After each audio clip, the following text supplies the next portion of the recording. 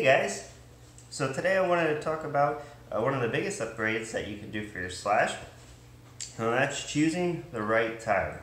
So depending on how you're driving your Slash, if you're driving on-road, off-road, or at the track, uh, choosing the right tire can make the biggest, or one of the biggest, performance gains uh, that you'll notice on your vehicle.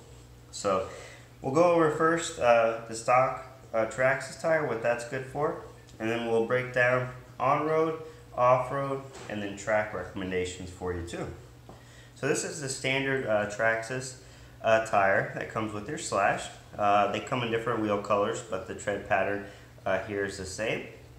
And this is pretty much designed as an on-road style tire. Uh, it's a good all-around tire, but I would say it's probably best at driving on road. Um, it does have a directional uh, tread pattern, so you want to be sure to line that up uh, correctly when your, your tires are, are on. Uh, but these will handle pretty well on the road. Uh, these will do okay off-road as well. And these are uh, serviceable at the track, but uh, not really ideal for that either. So these are pretty pretty decent all-around tire. You can pretty much run these anywhere uh, when you first get your slash and have fun with it. Uh, so I think it's a pretty decent uh, choice, you know, that Traxxas made. But again, as you get into determining what you like to drive on best, you're going to want to uh, get a specialized tire for that. So again, the Traxxas style, good all around uh, average tire. it's better on the pavement or on the road uh, than other other areas. But if we talk about on-road driving uh, next, you'll see here I have a, a pair of the Proline uh, trenchers. So these are the same uh, class size, you would say, as the standard stock Traxxas ones, but you can already see the Proline ones are much beefier. So if you consider they're like a little wider, it's kind of hard to see from this angle, but they're a little taller on the tread pattern as well. So just an all-around beefier design. Uh, and you'll see too, the Proline uh, trenchers, they have like this um, like kind of horizontal uh, tread pattern too. So these are great uh, for gripping on the road. Uh, pretty aggressive uh, tread that you have there too. So these will give you excellent grip compared to the stock Traxxas ones. One of the biggest things you'll notice from switching from the trenchers uh, from the stock ones is that your Slash VXL 3S will immediately start doing wheelies uh, with these tires. So you floor it with these ones, um, you'll get a lot of wheel spinning in the back. You may even do like little burnouts or have skin marks uh, from, from launching front end might come up a little bit. You can't really reliably do wheelies with these. These guys, you can pop it up all the time. So kind of gives you an idea of the difference in the traction. These grip uh, very well on the road. These you can use off-road too. These are pretty much just like a better version of the stock ones uh, for all-around use.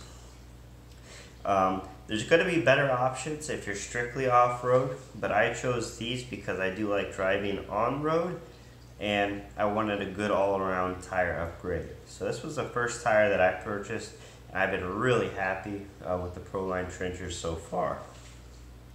Now when we talk about uh, choosing an off-road tire, Proline also makes what's called the Badlands. I don't actually own a set of these, um, so I'll post a picture of what those look like for you. But you'll notice on the Proline Badlands, they have these really kind of random looking aggressive uh, knobs that stick out of the, the tire tread. So instead of like your standard vertical kind of road pattern, or I'm sorry, horizontal uh, pattern, these are kind of more like random knobs. And those knobs are really good at like digging into dirt and gripping on uh, for your vehicle. So the Badlands are excellent uh, if you're going to be driving off-road conditions. Have a buddy of mine that runs those and he really loves them. I've tried them once on my car uh, and really like them too. The difference mainly between the Proline Trenchers and the Proline Badlands because you'll probably see these two tires recommended the most as your first tire upgrade. As the Proline trenchers are going to perform a little bit better for you on road, and the Proline Badlands are going to perform better for you off road. So that's kind of uh, where you want to make your preference. If you drive more on road or off road, you can select one of those. The I tried the Proline Badlands on road uh, with my Slash VXL 3S setup, and I wasn't able to reliably do wheelies uh, with it. So I was able to get the front up a little bit more. It handled well, but again, I'm kind of using that as a baseline of, of traction here. Um, that's why I kind of went with the Proline trenchers because I, I do drive on road more often. Um, but the Badlands are great off road. Um, I have a lot of people that, that really like using those. So we talk about on off road a little bit more. Uh, these are a, a, set of tires I got for fun. Um, these were the Proline trenchers, the 2.8 uh, size.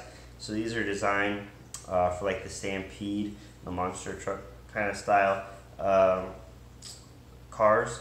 And but what's nice about these is they do have the 12 millimeter uh, hex adapter. So these will fit on your stock 12 millimeter hex hubs for your slash. So you can throw a pair of these on. You'll just have to pair it with the right body and body height so you don't get tire uh, rubbing there. I actually did a video where I put these on a Monster Fusion uh, body and it looked really cool. So I'll post a link to that video so you can kind of see what those tires uh, can make your slash look like. These are more kind of a style choice, uh, but these do grip really well off-road. Um, you can kind of see like the, the tread is really aggressive on these. So these do grip in uh, really well. I even tried these tires at the track and they worked great um, on dry conditions. And what's nice too is these have like a lot of um, uh, foam or like squishiness to them. So it, it really kind of gives your car a different ride because these kind of almost act as like a suspension. You know, when you're when you're driving, it supports your shocks. Uh, so these are really fun to try if you're looking for something different to do with your slash or if you want to try something a little different off-road.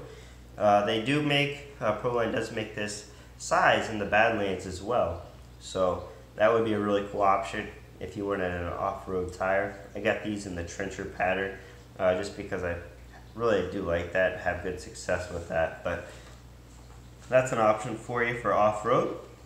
Uh, I also post a picture here too of what's called the paddle tires. So if you're interested at all in doing like the hydroplaning over water or ponds, you'll need a pair of those uh, paddle tires. So if you see videos on that, um, that's what those guys are, are using to kind of get it to just skim across the top of the water. So if you're interested at all in that, you need a special set of tires. So I'll leave a link for you in the description in case you're interested in those. Just a word, you know, kind of caution if we're talking about driving in water. Um, typically, these tires will have uh, little holes along the inside. If you can kind of see it in there. This is on the Prolines. Um, and that kind of lets air kind of squish in and out, you know. And on the Traxxas ones, you'll kind of notice uh, there's like a little hole right there. If you're going to be driving in really wet conditions or you know, if you're going to be going through water, you want to make sure to just kind of tape up those holes uh, real quick before you do. And that'll prevent water from getting inside your tires. If water gets inside your tires, um, can sometimes have trouble getting out.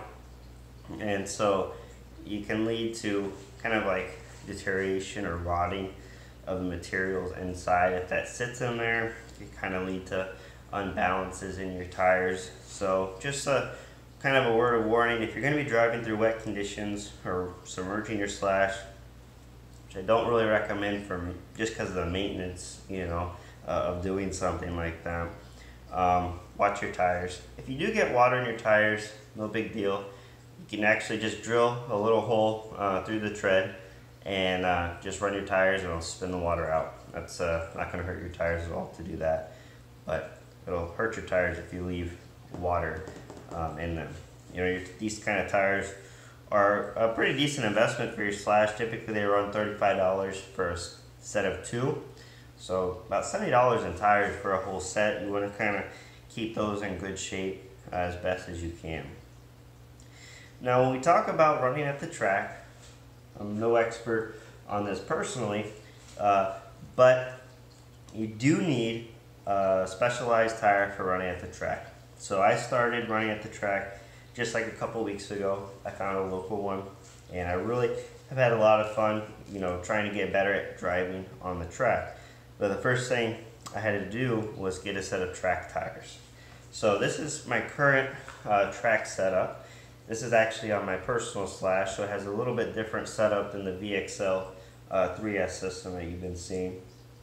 But you'll notice the tires have these really thin, uh, kind of what they call like needle pin patterns. So in the front here, I have the Proline uh, Calibers. Uh, these are really great tires. One of the first things I noticed is that they have a very deep like hex adapter uh, to go on your hex hubs.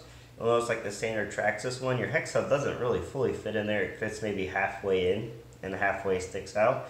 The Proline Calibers pretty much go over the entire hex hub, which is nice. Uh, kind of keeps stuff from getting in there and keeps them on tighter. But they have like this little triangular, kind of like three three pin uh, tread on them. And I've heard overall that the Proline Calibers are one of the best all-around choices uh, for you for the track. You're going to notice if you start doing research on track racing or track driving, some of the guys that are really serious about this will have several sets of tires on hand and they'll interchange them depending on the track conditions, if it's wet, dry, you know, what the top layer of the track looks like, if it's packed down or if it's loose. So you can really get into a lot of, you know, debate and details on what track tire to use. This is if you're just kind of going out there for fun, you know, you maybe want to get into competitive in the future. Uh, personally, I think the Proline Calibers are a good choice. Another good option I saw recommended a lot, and you'll see on this car I actually have two, two different tires. In the rear, I have what's called the AKA Enduros. And the Enduros, you kind of see have like these medium-sized like uh, knobs that come out uh, off of them. Not really as aggressive as the multiple needle points on the Calibers, um, but just kind of more like a simple approach. And so I put these on the rear um, just to kind of try uh, to see you know the difference, um, to kind of get an idea of what to use.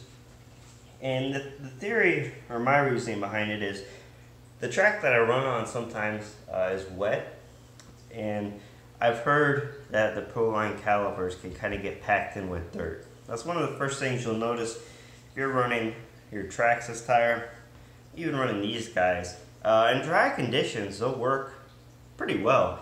You can make it around the track um, just for fun.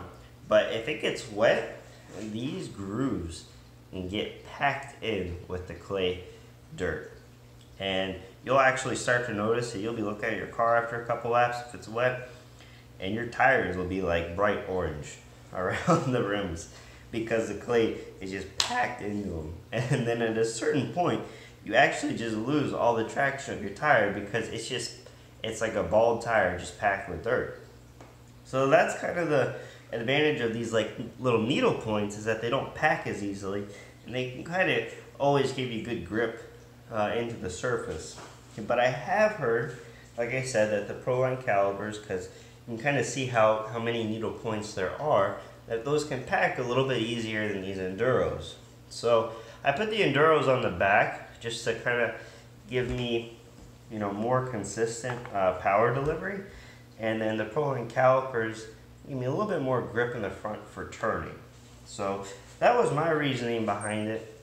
But again, I think either of these tires are going to be a great choice for you. The AK Enduros are a little bit cheaper than the Proline Calibers, but I know the Proline Calibers are highly recommended. I got a couple of buddies that use them that really like them, just as an all-around good track tire.